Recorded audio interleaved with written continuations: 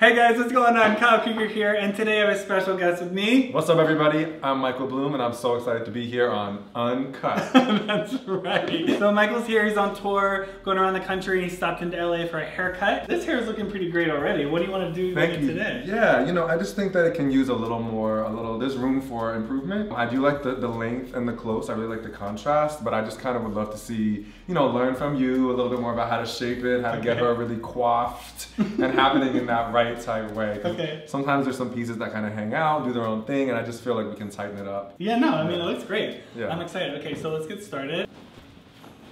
Okay, so you're on tour right I'm now. on tour, You're a yeah. singer songwriter. Do you write? I'm like, I love lyrics. You know how people will say like, "Are you a lyrical person or a melody person?" Do people Mm. ask you that? Is that a thing? Kind of, yeah. people ask me that. like, They've asked me that. You before. sing? No, but I just you Yeah, can't give us a few notes right now. to answer your question, yeah, I, I write lyrics and, and, and melodies and music and chords and you know I kind of do as much or as little as needed. As a person who appreciates music, I tend to love lyrics more. Yeah. And I really appreciate your lyrics. I think that they're great. Does the lyric come to you first or the melody come to you first? Sometimes it's lyric first, sometimes it's music first. Sometimes I have a little lyrical idea for years and then it'll become a song. I'm always looking forward to like finding new ways for a song to be created. How would you describe the music that you sing? I describe my music as progressive R&B. Okay, I love that. But different people I've heard use different terms for it. And growing up, I listened to a lot of mostly soul and gospel music. Yeah. What's one album that really kind of defined your childhood? We were talking about it earlier, but like when I was 12 and 13, I pretty much listened to Stevie Wonder discography, like Oh, up, yeah. down, and around. Stevie Wonder, Aretha Franklin, Donny Hathaway, Patti LaBelle, like classic soul. Were you ever intimidated coming into that R&B space,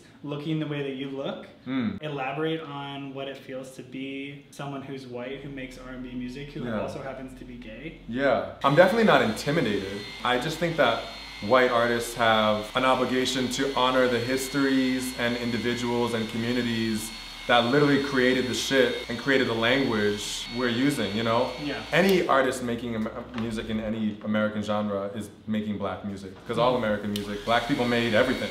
Yeah. And that doesn't mean that categorically white people can't make that music or study from that music or learn that music.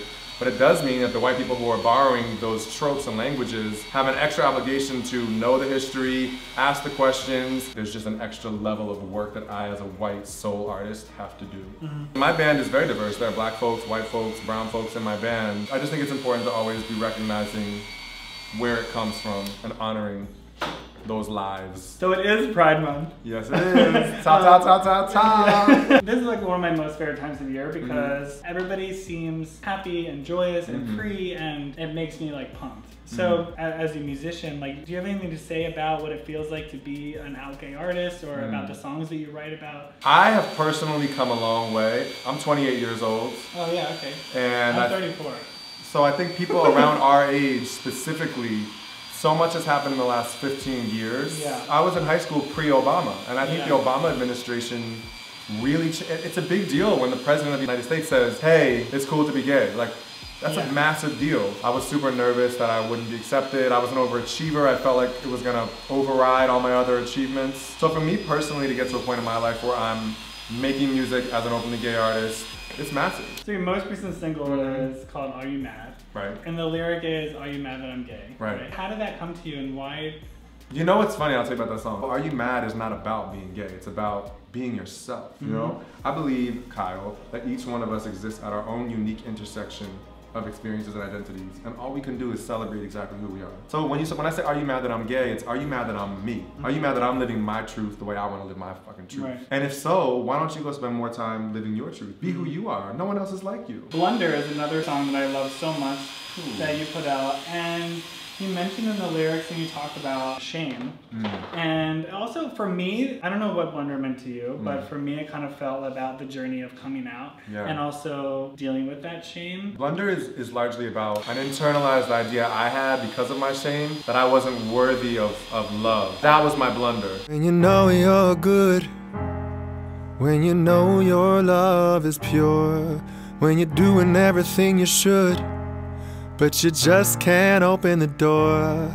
I've been searching for a while now, thinking that it's time now. I'ma throw away this pain. But ever since I was a child, I had it on my mind. I'm dealing with my shame.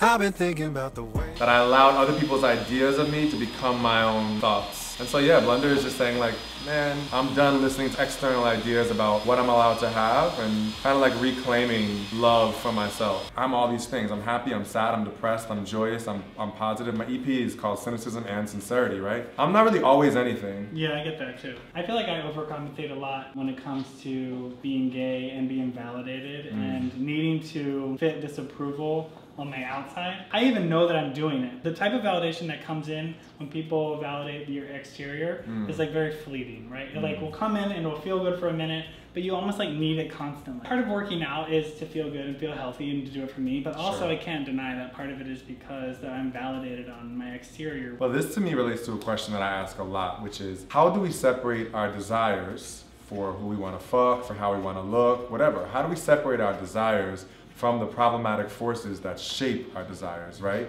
So if I'm attracted to XYZ person, but I can't ignore the fact that, you know, beauty is a construct and like Yeah. the things that I've been taught are beautiful, maybe only this type of person or guys that look like this or have this much money or have this educational status. And it's hard because at the same time I wanna I wanna decolonize my mind, but like my mind has been colonized. Yeah. So like how do I maintain the awareness while also not stopping myself from going to the gym because it feels good or I wanna look Yeah. a certain way or I'm attracted to this guy and I, I wanna go hook up with him, so I should, you know? I feel like it's one of those things that, you know, we're not going to necessarily figure out today, but it's, it Yeah. takes a minute. I just feel like I can't figure out the top of my hair.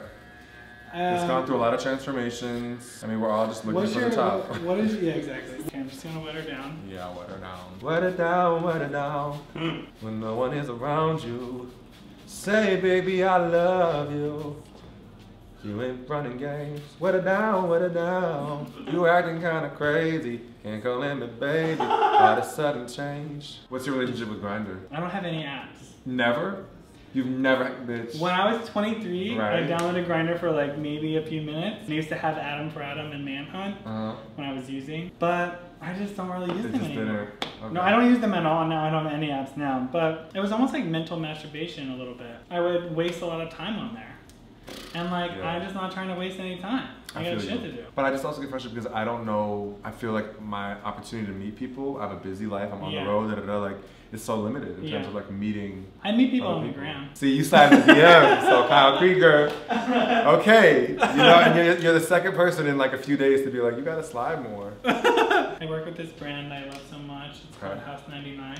Lovely. Casey it, Casey it. I'm gonna use their gel because the gel is going to any gel would do this. Yeah. Um, or not any gel, but any like good gel would add a little bit of density to your hair, so it can have a little height, right? Which is kind of what we want.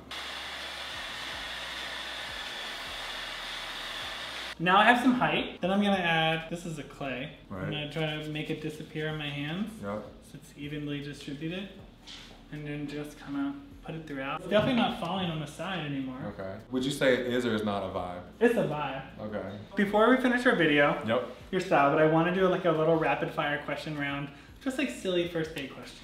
First dates. Well, they're not first date, but if you went on a first date with me, it's what I would ask. Okay. Because they're a little too I won't tell you what I ask on first dates. Okay. if you could trade lives with one person in the world, who would it be? Beyonce. Insecurity about your biggest flaw. Insecurity about my biggest flaw. Ooh, so many. Um, that I Oh, that I'm aiming too hard. That I need everyone's approval, and I don't want to disappoint anybody. okay. Your most bizarre talent. oh God. right. I'm not gonna say that. I'm pretty good at massage. Oh, how you? It's not that bizarre. How you doing? Cut or uncut? Jewish cut. Okay. Although no preference, and I'm definitely on the pro no cutting Okay. train. Why are we mutilating babies' gen- genitals? the No. The Hogwarts house you would belong to. Rumpelstiltskin. What? Um, no. You don't know Harry Potter? No, no, no, no, wait, wait. Not Rumpelstiltskin. Um, Ravenclaw. Rumpelstiltskin, please. The last book you read. the Patti Smith one. Just kids. Shark diving, bungee jumping, or skydiving? Skydiving. If you had a superpower, what would it be?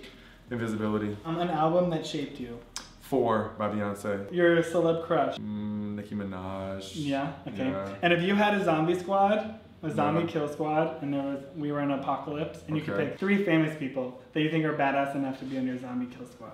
I pick Barack Obama, Yeah. Cardi B, just, you know, yeah. and I pick um, Cardi B could do some damage. Yeah, Barack. I don't know, Kyle Krieger. ah, I don't know. Okay, guys. So thank you so much for watching today, and this looks great. You look amazing. Thank you so much. You, Yeah, you no. You can find Michael on any streaming network, right? Yep. Spotify, Apple Apple Music. Music, everywhere. Michael Blume, B L U M E. And you can find me on social media at Kyle Krieger, and you can find him. And Blume Music. And thank you guys so much for watching. We'll see you soon. Peace. Bye.